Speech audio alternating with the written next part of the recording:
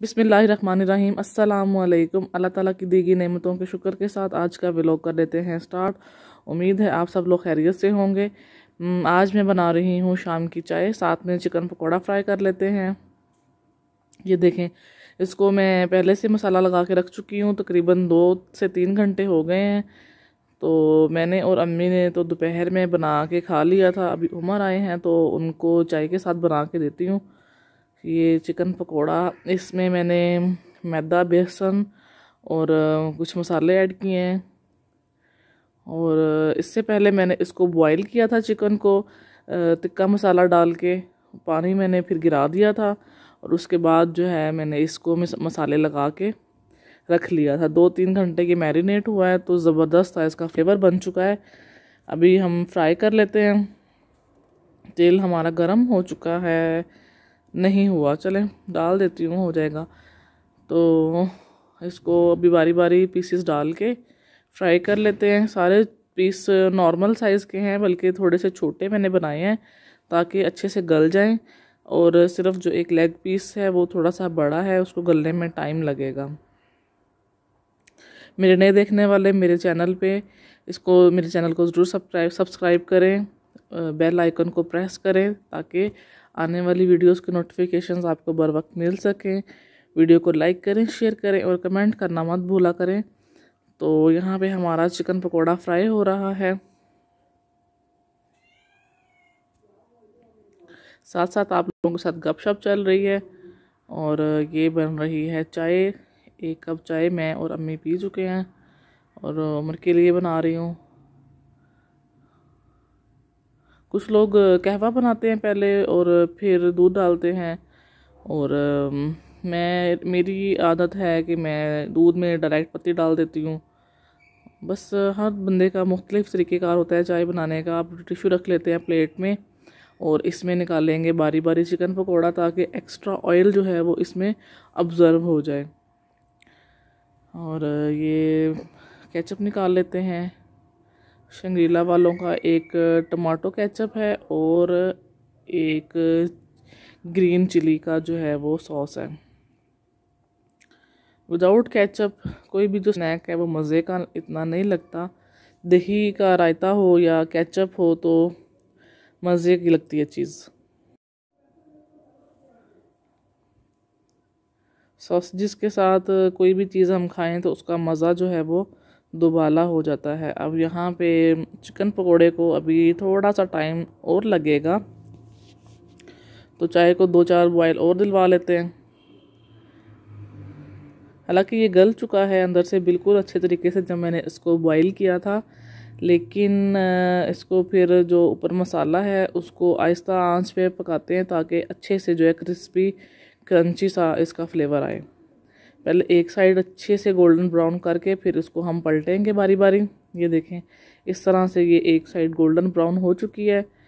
और अब दूसरी चीज़ें चेक कर लेते हैं, पीसीस, ये देखें, ये भी हो चुका है, इसको हम बारी बारी पलटते जाते हैं। मौसम जो है, ज़बरदस्त किस्म का ठंडा यख मौसम है, बारिश वाला। तो अभी थोड़ी देर तक हम फिर बाहर जाएँगे। और घूमे फिरेंगे साथ साथ आपको दिखाएँगे। चाय भी बन चुकी और चिकन पकोड़ा भी साथ साथ फ्राई हो रहा है। ये देखें, ये पीस हो गया। इसको बारी बारी निकालते जाते हैं। ऑयल में आपको हमेशा कहती हूँ कि कढ़ाई में उतना लें जितना कि आपने उसी टाइम यूज़ करना है। बाद में उसको रखें मत, उसको फिर फेंक दें, ताकि ख़राब ना हो। जब भी कोई भी चीज़ फ्राई करें फ्रेश ऑयल डालें, मुनासिब सा डाल लें और फिर उसको डिस्ट्रॉय कर दें। मैं तो दोपहर में खा चुकी थी, लेकिन अब दोबारा से फिर चेक करूँगी, क्योंकि ये इतनी अच्छी खुशबू आ रही है इसकी कि मेरा दिल कर रहा है कि मैं दोबारा से फिर ट्राई करूँ। तो कंपनी भी देते हैं साथ साथ खाते भी हैं।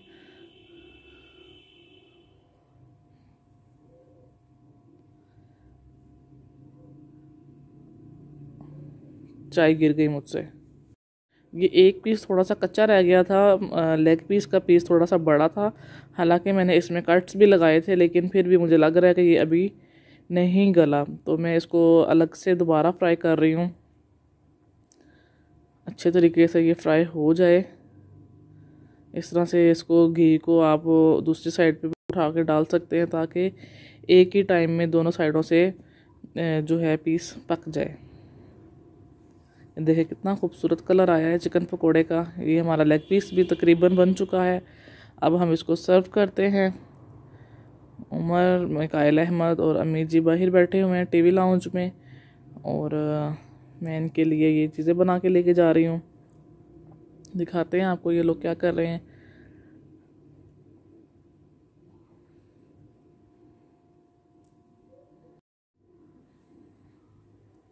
मिकाइल अहमद बैलून्स के साथ खेल रहा है। इसके बाबा इसके लिए ऑफ़िस से ढेर सारे बैलून्स आते हुए लेके आए हैं और ये सोया उठा था और उठते साथ ही इसको ढेर सारे बैलून्स नज़र आ गए और साथ ही इसके खेल स्टार्ट हो गए शार्टें स्टार्ट हो गई इसकी।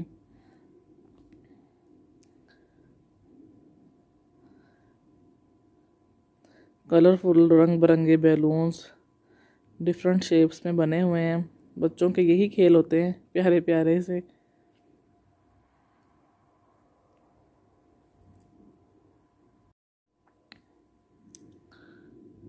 ये देखिए जी, इसके बाबा इसके लिए निकाल रहे हैं बैलून्स बाप की मोहब्बत, क्या ही कहने हैं।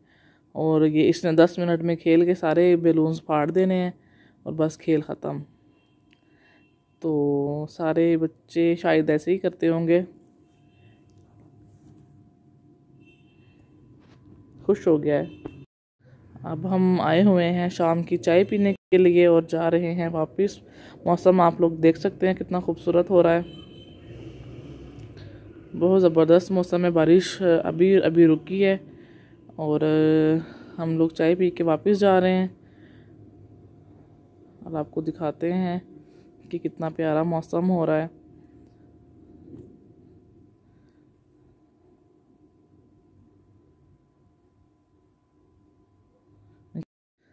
अब हम जा रहे हैं वापस। ये था हमारा आज का व्लॉग उम्मीद करती हूँ आपको पसंद आया होगा।